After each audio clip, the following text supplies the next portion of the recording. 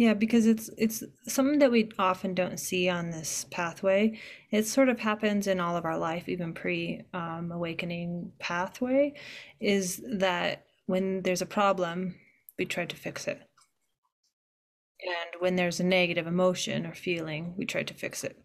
Like we're Mm-hmm. taught that so much, right? So um, I don't think it's reiterated enough that um, confusion, frustration is like it's like lava for awakening. It's really powerful. Um, but because we're so taught that, oh, well, um, frustration isn't good. Why would frustration be good? That doesn't make any sense that that would be good. Or confusion, right? I'm supposed to, I'm trying to find my way to clarity. Why would I want to move into this confusion perspective? I'm trying to get away from that. But the sense of someone separate, the fundamental movement of it is towards pleasure and away from pain. So whatever your mind deems as painful, which the frustration and the confusion is painful, is uh, well, that's that's not the way to go. That's not going to get me where I need to go. I need to find good things, good pointings. But um, it really is the the best thing, the doorway, the the frustration or confusion, because it's it confuses your mind. Whenever whenever our mind has ground to stand on, self is born of that. Mhm, Identity structure is born of that. So um, this is completely beyond the mind. It's what's here before the mind, and it's beyond the mind, the mind's existence. So um,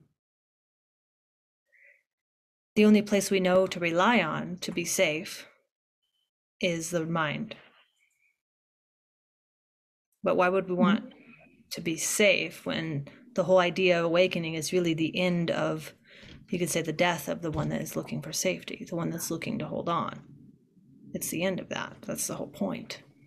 You can't, uh, you know, I know some spiritual teachings teach like a big self, you know, and then there's a Mhm. small self. Like to me, both of those selves are still selves, and they're defeats the purpose of awakening. Awakening is to see that there's no self.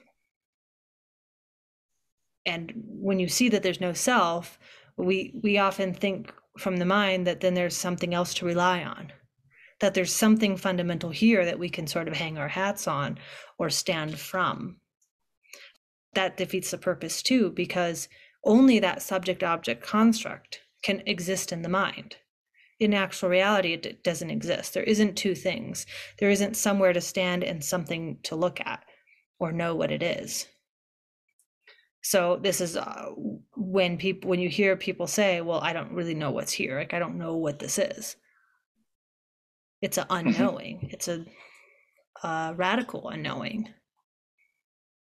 To the mind structure, to the uh, identity structure, it's going to feel really like I like the analogy of like you're on the ocean on in a boat that's full of air and something punctures it and you're trying to tape it up you know put some duct tape over that just so you could stay afloat. And mm-hmm. eventually you sort of let the you let the air fizzle out. And you're like this. You're like oh man. And there's no railings. There you're just in the middle of the ocean. There's nowhere to grab onto. You're going to sink. And you're going to float. And then you're going to lose your buoyancy. And you're going to sink. And then you become the whole ocean yeah.